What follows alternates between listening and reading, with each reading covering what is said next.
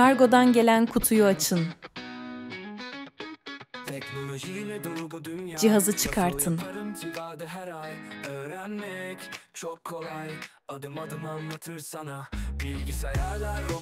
Kumandayı her kontrol şey edin.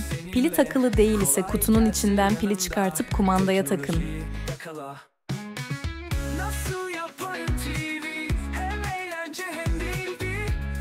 Kutunun içinden çıkan görüntü, aktarıcı. HDMI kablosunu cihazınızın arkada bulunan HDMI portuna takın.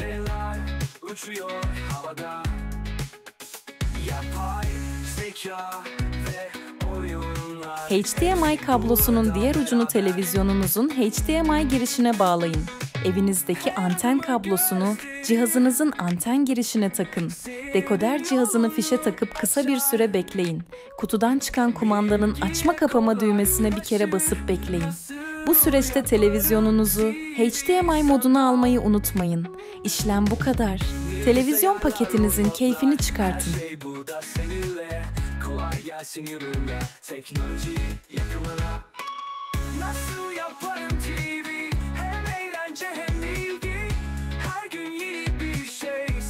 katıl bize, bize